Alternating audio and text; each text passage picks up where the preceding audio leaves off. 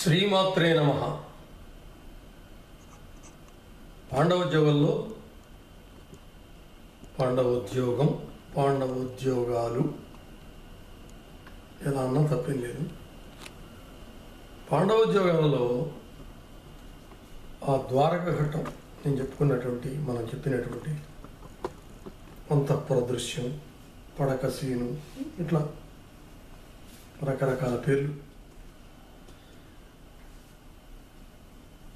ఆ ముగ్గురు పాత్రలు కృష్ణుడు దుర్యోధనుడు అర్జునుడు. ఏ విధంగా వాళ్ళ వాళ్ళ యొక్క హావభావాలు పద్య రాగ ప్రస్థానాలు ఔచితి అనౌచిత్యాలు అంటే అనౌచిత్యం కూడా ఒక్కోసారి అనౌచిత్యమే నటరైంది నేను చెప్పాను చూడండి ఇందాక. వాడు నటిస్తున్నాడా లేకపోతే నటించటం లేదా? బ్లాంక్ అంటాను చూడండి. అది కూడా నటనే. అయితే అక్కడ ఏమిటి అనేటువంటి సన్నివేశం? మరీ పట్టనట్టు? మరి నిర్లక్ష్యంగా? దుర్యోధనం ఉంటే పర్వాలేదు అర్జునుడు ఉండకూడదుగా? కాబట్టి పాత్రను బట్టి అలా ఉంటాయి. అది వేరే విషయం అనుకోండి. అది మళ్ళీ శాస్త్రము నాటకము అదంతా మనకు అనవసరం. అయితే ఇందాక అంతకుముందు చెప్పుకున్నట్లుగా దుర్యోధనుడు ఎప్పుడైతే నా సాటి గోపకులు చాలామంది ఉన్నారు అది నా పాటియ పదివేవురు గోపాలురు గలరు సమరగోవిత బాహాటోప బాహాటోపాభిరామమూర్తులని చిన్నప్పుడు ఎప్పుడో పద్యం అంటే ఇక్కడ అన్ని ఎడలను నాకు ధీటైన వారు గోపకులు పదివే పదివేవురు ఉన్నారని చెప్తూ నారాయణాక్ష చంద్రులు వారని చెప్పేటప్పటికీ వాడికి ఆశ వేసింది దుర్యోధనుడికి పదివేల మంది. కాబట్టి సంఖ్యాబలం చూస్తున్నాడు. క్వాలిటీ క్వాంటిటీ ఇంగ్లీష్లో మనం అంటుంటాం చూడండి. అర్జునుడు తెలివైన వాడు కాబట్టి మెదలకుండా శ్రీకృష్ణుని ఎడల భక్తిని ప్రదర్శిస్తూ కొని నటిస్తూ అలా ఉన్నాడు. ఎప్పుడైతే శ్రీకృష్ణుడు తను చెప్పాల్సినటువంటి మాటలన్నీ చెప్పిన తర్వాత మరి నీకు ఏది ఇష్టమో కడమ ఈతని పాలకు పాండునందన అని కృష్ణుడు అన్న తర్వాత మరి అతను దుర్యోధనుడు. ఆ చూడవలసినటువంటి చూపులు చేయవలసినటువంటి ఆ నటన అంతా అయిన తర్వాత పరిశేష న్యాయమున తక్కిన దానిని నేనే గైకుంటుని అన్నాడు. నేను గైకుంటుని. దాన్ని బట్టి అర్థమైపోతుంది. అందరికీ తెలిసినటువంటిదే. నీవు సంతుష్టాంతరం కూడా అవుతుంది కదా. ఆ సంతృప్తికి అంత ఎక్కడిది? కొన్ని కొన్ని ఉన్నాయి. ఎవరు అక్కడ? రాజరాజులకు మార్గము చూపుడు మార్గం చూడు పోడా? ఇవన్నీ ఏంటంటే కొంతమంది కల్పించి నాటకాన్ని కొంచెం పొడిగించాలి కాబట్టి టైం కాలాన్ని దృష్టిలో పెట్టుకొని. ఇప్పుడు పల్లెటూరు లాంటి చోట్ల నాటకం బటాబటిగా ఏదో అరగంట అంటే అరగంట ఇరవై నిమిషాలు అంటే ఇరవై గంటలు సరిపోదు అది. అక్కడ కొంచెం పాడగలిగినటువంటి వాడు. నాటకాన్ని కొంచెం ముందుకు సాగదీసి ఇంకా కాస్త జనరంజకం చేయగలిగినటువంటి వాడు. ఏమిటి ఎక్కువ వాడకూడదని మీరేంటున్నారు? మళ్ళీ సాగదీయటం ఉంటున్నారు జనరంజకం అంటున్నారు. వీటికి కొంచెం వివరిస్తారా అని మీరు అడగచ్చు. అంటే నేను అందుకనే అనేది ఏంటంటే గ్రామీణ వాతావరణంలో నాటకం వేయటం వేరు. పట్టణం. కొంచెం నాగరిక సమాజమైనటువంటి ఉన్నటువంటి ప్రదేశాల్లో వేయటం వేరు. అందుకనే కృష్ణశాస్త్రి గారు గుర్తొస్తున్నాడు. పల్లె తల్లి లాంటిది పట్నం ప్రియురాలు లాంటిది అన్నాడు ఆయన. చూసారా ఎంత గొప్ప మాట. అంటే తల్లి దగ్గర స్వతంత్రం ఉంటుంది. ఏం పర్వాలే కాస్త.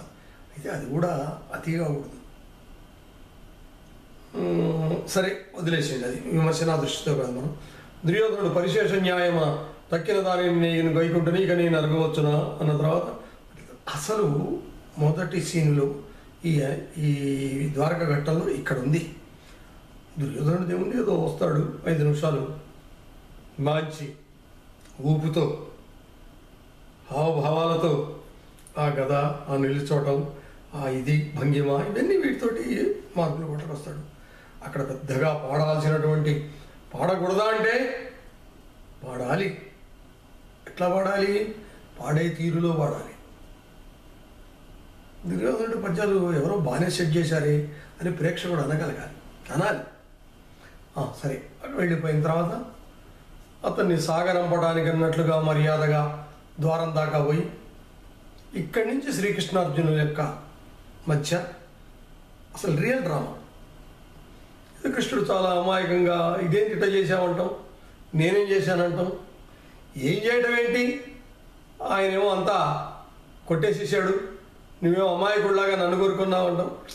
అది ఆ శ్రీకృష్ణ పాత్రకు నిజంగానే శ్రీకృష్ణుడైనటువంటి వాడు సకల శాస్త్ర విశారదుడు. మాయ అనేటువంటి దానికి అసలు ప్రతిరూపం కదా? లీలామానుష విగ్రహం అంటాం కదా మనం. విగ్రహుడు లీలామానుష విగ్రహుడు.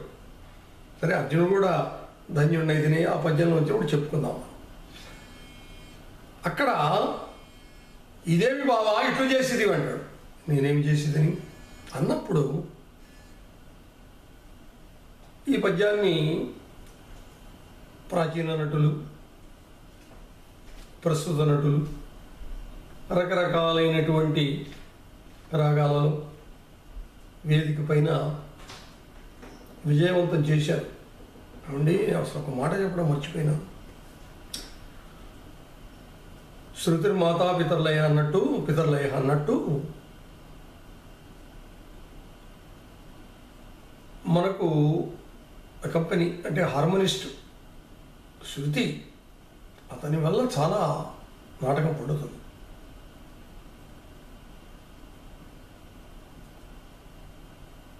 శృతిలయలు మాతాపితలు. కదండి? ఆ శృతి కనుక ఆ నాదం నీ చెవిలో పడి నువ్వు సరిగ్గా పద్యాన్ని ఎత్తుకోలేకపోయావో లేదా వాడు శృతి ఇవ్వలేకపోయాడో నాటకం అపజయం పాలైనట్లే. ఏమండి? ఏదో కుట్టినట్టుగా వెంటనే టక్కుమని ఆ రారాజును అటు పంపించి ఎదిరిగి ఆలము చేయనేనని యథార్థము పలికిది జుమ్మి. ఇటి గోపాలుని నన్ను గోరితివి. భండన పండితులు అగ్నితేజులు ఉత్తాల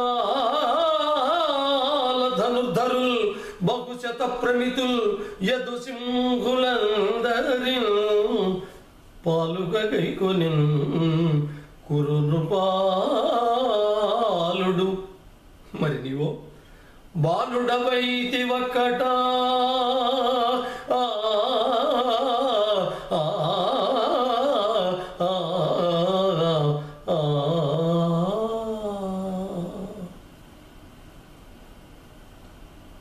ఇది పడదీప్ అంటారు. అంటే నాకు కూడా పెద్దగా అటు కర్ణాటక సంగీత రాగాలు హిందుస్థానీ సంగీత రాగాలు అన్నీ రావు. బొటాబొటిగా నటుడనేటువంటి వాడికి వేదిక మీద వాడు బాగా కృతకృత్యుడు కావడానికి కొన్ని రాగాలు నేర్చుకోవాలి పేర్లు కూడా తెలుసుకోవాలి. ఏం పడడానికి ఏమనండి? ఏదో నాకు తెలియదు అనకూడదు. కొంచెం చెప్పడానికి ప్రయత్నం చేయాలి. దీంట్లో చూడండి నిజంగానే ఒక రకమైనటువంటి ఇదేంటి? ఇట్లా చేసావు ఆయన అట్లా చేశాడు. చూడు ఎంత తెలివి గలవాడు నిజానికి తెలివి గలవాడు అర్జునుడే. అమాయకుడు ఆయన.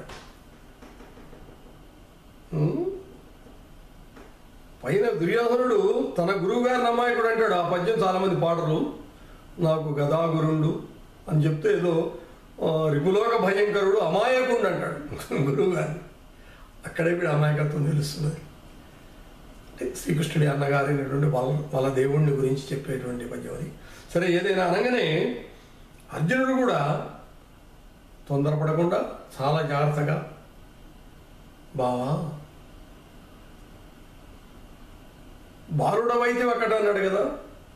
అంటే ఎంత నమ్మకం చూడండి కాన్ఫిడెన్స్ భావాన్ని యుద్ధమేరికి కావాలేనయ్యా. నీవు నా అండనుండగా నాకు అది పదివేలు కాదా? ఈ కవులు కూడా చిన్న చిన్న డైలాగులు రాసేటప్పుడు భాషణలు సంభాషణలు ఎంత జాగ్రత్త పడ్డారో చూడండి ఇంత చాంతాళ్ళాగా రాయకుండా. ఆ కృష్ణార్జునుల మధ్య ఉన్నటువంటి ఆ బంధుత్వము ఆ స్నేహము ఆ ఇంటిమసి అంటాం చూడండి. దాన్ని జాగ్రత్తగా ఎలా తెచ్చారు చూడండి. అంటే అర్జునుడు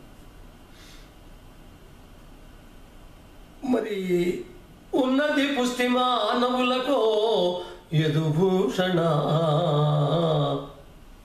ఆలజాతికి తిన్నది పుష్టి నీ వరకు దెంచి బునను నజాలు నే సున్నము జసదూరిపుల సూపరుల కుత బరుద సర్వలోకోన్నత హార్మోని ఉంటే కొంచెం పై కూడా పోవచ్చు. సర్వలోకోన్నత నాకు పేరసగు ఊరక చుచుచునుడు అచ్యుతాగా.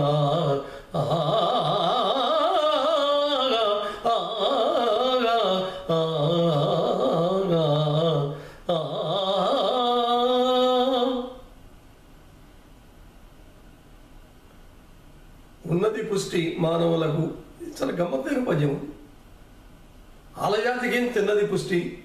ఇదేమిటి? ఎక్కడికెక్కడికి? అంటే లోకములో కొన్ని కొన్ని విషయాలను ఎలా చెప్పాలో మహాకవులైనటువంటి వాళ్ళు ఇక్కడ నాటకంలో కూడా పెట్టి అర్జున పాత్రగతంగా ఎంత గొప్పగా చెప్పాడు చూడండి. నిజంగానే ఆలజాతికి చిన్నది పుష్టి.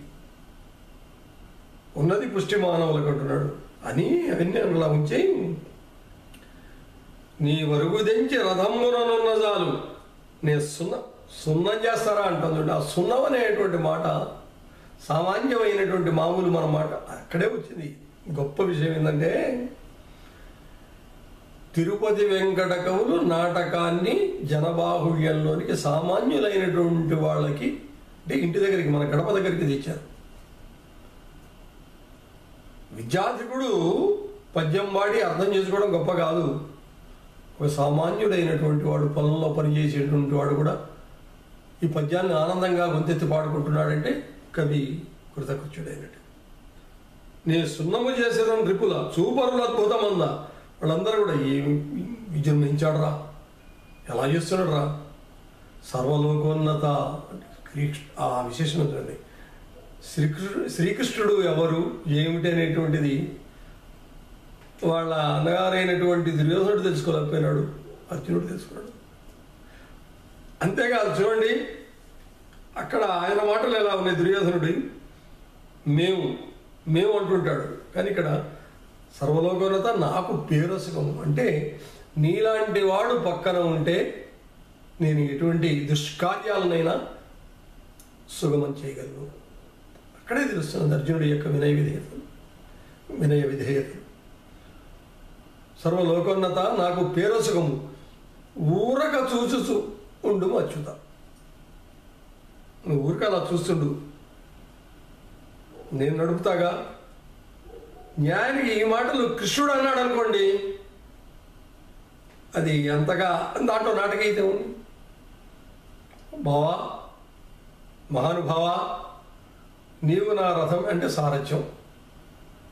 అంటే అంతకుముందు అంతకుముందే కాదు.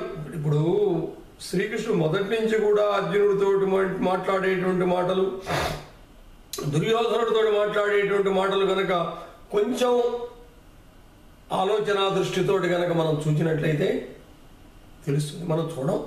ఎందుకంటే అక్కడ నాటకం.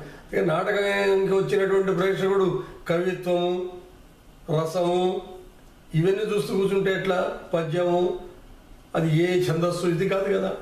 అక్కడ మనం కూడా లీనమైపోతాం. ఊరక చూసి నుండి వచ్చుత అనగానే శ్రీకృష్ణ పరమాత్ముడికి ఈ జంట కవులు ఊరక చూచుచుండు మను టొప్పితేగాని అంటే ఆ పద్యం ఒక పాత్ర తర్వాత వెంటనే పద్యాన్ని ఎత్తుకోవడం చాలా కష్టపడింది అది ఎంత కష్టమో అంటే అది అనుభవిక విజయమే ఎందుకంటే ఒక ఒక ప్రమాదం ఉంది అది కూడా చెప్పాలి. ఇద్దరూ ఒకే శృతిలో పాడగలిగినటువంటి నటులైతే హార్మోనిస్టుకు చాలా ఆనందకరమే వీళ్ళిద్దరికి కూడా చాలా ఆనందమే. ప్రేక్షకులు కూడా అరే వీళ్ళిద్దరు సంస్కృతిలో పాడుతున్నారా. కానీ మరి అలా కాకున్నప్పుడు మార్చాలి. కొంచెం ఎబ్బెట్టుగా కూడా అనిపిస్తుంది నిజానికి. ఎబ్బెట్టు లేదా చాలా బాగుంది. ఇవి ఆలోచించరు అక్కడ ప్రేక్షకులు అనేటువంటి వాళ్ళు. చూడండి. ఊరక చూచుచుండు మనుటొప్పితే గాని భవద్రధస్తు బరగ చూచి నీరిపులు పక్కున నవ్వి అనాదరింతురు. ఆ సురకులంబు మెచ్చ రిపుసూదన తాభరమోను నీకు నే సారథి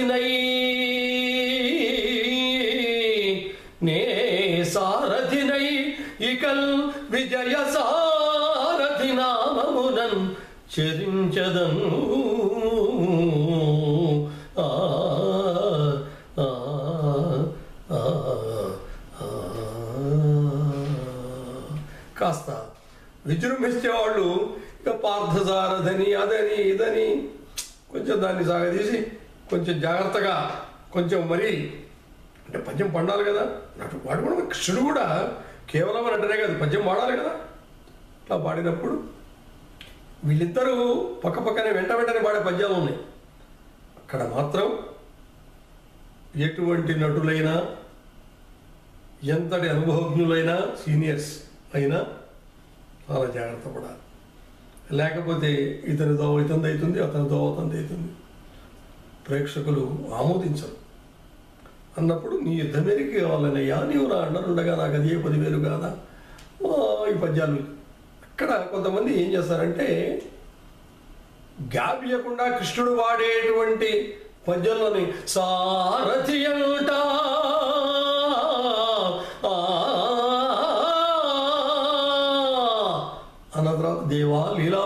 విగ్రహ చిరకాలం నుండి మనమ్మున నేను ఎయ్యది అభిలషించుతును నాకు అది ఏ సమకూర్చిది ఇదొక పద్ధతి. నా ఉద్దేశం అయితే ఆనందాన్ని అవతల నటుడు పాడుతున్న సమయంలో చివరి పాదంలో చివరి రాగం తీస్తున్నప్పుడే అది ఏదో దాన్ని అతిక్రమించి అతిశయంగా పాడాలి అని అనుకోవడం కూడా తప్పే. నా ఉద్దేశంలో అది పాడితే ఒక రకమైన వింత అనుభూతి ఒక వింతైన ఆనందం వస్తుందని చాలామంది అనుకోవచ్చు. హాయిగా వినాలి. ఎప్పుడైతే విజయ సారథి నామం మనం చరించదన్న తర్వాత చక్కగా అలా పోయి దగ్గరికి పోయి ఒక్కసారి ఆ మొహల్లను చూసి ఆపాదమస్తకం చూసి కాళ్ళకు దండం పెట్టి సారథి అంటే తప్ప ఏం లేక కొంతమంది సరేలేండి ఇప్పుడు ఊరంతా ఒకదో ఉలిపి కట్టే ఒకదో అని ఒక సామెత ఉంది. ఇప్పుడు ఎవడన్నా ఏదన్నా చెబితే దాన్ని స్పోర్టివ్గా తేలిగ్గా హాయిగా మనస్ఫూర్తిగా తీసుకోరు. ఈయనేదో చెప్పాడు చెప్పాడే కదా అనేటువంటి వాళ్ళు చాలామంది ఉన్నారు ఉంటారు. వాళ్ళెందుకు మనం ఇప్పుడు నేనైనా కొంచెం ఏమిటి ఇట్లా వేరే రకంగా ఉందే అనుకుంటాము. తప్పదు. దీనికి నాకు ఒక అనుభవం కూడా ఉంది. నేను అది చెప్పాలి. ఒక సరే అది పక్కదో పెట్టినది అది వేరే అర్జున పాత్రగతంగా వచ్చినప్పుడు నేను చెప్తాను. అన్న తర్వాత చక్కగా అర్జునుడు సారథి అంట వేదముల సారము శౌరి తదంగిరి భక్తి చిన్నారుడు క్రీడిత నధికుడు ఉన్నట చిందము ఈ పద్యం అందరికీ తెలుసు. దీన్ని కూడా మంచి సరళ గంభీరమైనటువంటి రాగంలో అంటే సరళ గంభీరాలను గంభీరాలు ఉంటాయి. నటుడనేటువంటి వాడు పద్యాన్ని మరీ తొందర చేయకూడదు మరీ నిదానం చేయకూడదు. దాన్ని ఒక బ్యాలెన్స్ ఒక సమతూకం. అలా ఉండేవాడు ఆ పద్యానికి తగ్గట్టుగా చూపులు. సారథి అంట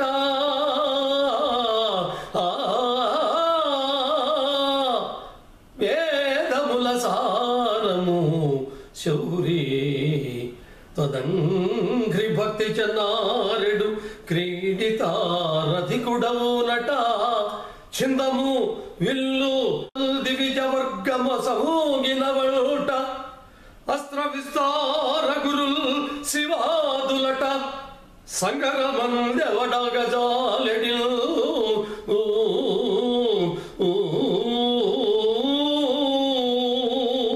ఈ పద్యాన్ని వింగడించుకోవడంలో చూపుల్లో తదంగ్రి భక్తి చెందాలను తప్పనిసరి విధిగా పదాన్ని చూడాలి. చిందము విల్లు తేరు అన్నప్పుడు యుద్ధభూమి వ్యవహారము దానికి తగ్గట్టుగా హార్మోనిస్ట్ గారు కూడా మంచి బిట్స్ అంటాం చూడండి. ఆ నాదం అవి ఇయ్యాలి. అప్పుడు పాత్రధారుడు అటుపక్క అప్పుడు శ్రీకృష్ణుడు కూడా ఆవురుగడు దోవలో పడ్డాడు లైన్లోకి దిగాడు అంటాను చూడండి దోవలో పడ్డాడు. నేను ఏదైతే మనస్సులో ఊహించుకున్నానో మా బావగారు అయినటువంటి అర్జునుడు సమాధానం బాగానే చెప్పాడే అనేటటువంటి భావన ఎక్స్ప్రెషన్ ఇది కృష్ణుడిలో కూడా వస్తుంది. ఈయన పద్యం ఈయన వాడి ఆయన పద్యం ఆయన వాడితే అది బాగుండదు. అంటే నేను మాటి మాటికి ఇట్లా నేనేదో విమర్శన దృష్టితో తెస్తున్నాను అనుకోవాకండి. అనుభవాలు కాబట్టి చాలా చాలా అనుభవాలు కాబట్టి. బావా అర్జున అంటే వాడు అక్కడే ఉంటే? హాస్యం కోసం చెప్పడం కాదు. ఇవి జరిగినాయి కాబట్టి చెప్తున్నాను అలాగే బావా కృష్ణ అంటే ఆయన ఎక్కడో ఉంటే ఇద్దరు పక్క పక్కన ఉండి ఇతను నటిస్తున్నప్పుడు అతను ముఖ మండలంలోకి ఇతను చూస్తూ చిరునవ్వులు మరి అలాగే అలా నవ్వుకుంటూ కంటిన్యూ కంటిన్యూటీ అనేటువంటిది. ఉన్నటువంటి నటుడు అనేటువంటి వాడు రిలాక్సింగ్ అంటాను చూడండి. నీరసంగా అట్లా ఈ నటనావస్థ నుంచి మామూలు అయినాడు అనుకోండి ఈ నటుడు గాడు. కృష్ణుడు అంటే కృష్ణుడే. అర్జునుడు అంటే అర్జునుడే. ఆ గాంధీవం పట్టుకునే విధానం కానీ అలాగే ఈయన ఆ పిల్లల గురువు పట్టుకునే విధానం కానీ ఆ తలకాయ ఊపే విధానం కానివ్వండి ఆ కిరీటం కానివ్వండి ఆ చూపులు కానివ్వండి ఇవన్నీ కూడా చూసుకుంటే అప్పుడు కూడా. ఈ తర్వాత మామూలుగా ఏంటంటే ఇక్కడ ఈ పద్యం పాడిన తర్వాత అన్న మన రాకకి వేచిండును మనం ఉపప్లావ్యములకు బోధమురు అని దీంతో ముగిస్తారు. కాదు తప్పనిసరిగా ఆ చివరి పద్యం పాడితేనే ఈ అంతఃపుర దృశ్యం అది పరిసమాప్తమైనట్టుగా నా భావన. అందువల్ల అర్జునుడు అనేటువంటి వాడు కృష్ణుడు అనేటువంటి వాడు ఆ రెండు పద్యాలు కూడా తప్పనిసరిగా. సరే అర్జునుడు ఇట్లా మరి ఎప్పుడైతే అన్న మన రాకకై వేచి ఉండును అంటాడో మరి మా అన్నగారి సాయం నీవేలా అర్థించమని కృష్ణుడు అంటాము. ఇది అందరికీ తెలిసినటువంటి విషయమే. బలరాముడు బలాభిరాముడు అని బలదేవుడి యొక్క గొప్పతనాన్ని అర్జునుడు స్తుతించిన తర్వాత కృష్ణుడు అసలు విషయం చెబుతాడు. ఈ పద్యం చాలా తలమానికమైనటువంటిది. ఈ పద్యంతో ఆ దృశ్యం ముగించడం అనేటువంటి జరుగుతుంటుంది. ఏమంటాడు? వచ్చటి వాడుగాడతడు వారికి మీ కొనుగూడతోడు వివచుడా అమ్మకామకు భావము మునెయరింగినాడా ఆ మహామహుడైనటువంటి మా అన్నగారైనటువంటి బలదేవుని యొక్క భావం ఏంటో నాకు తెలుసు.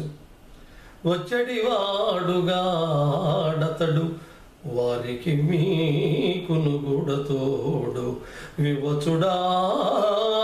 అమ్మకామకుని భావము మున్నెయరింగినాడా ఆ సచ్చరితుండు మీకు దగ సంధి పొసంగిన సంతసించు.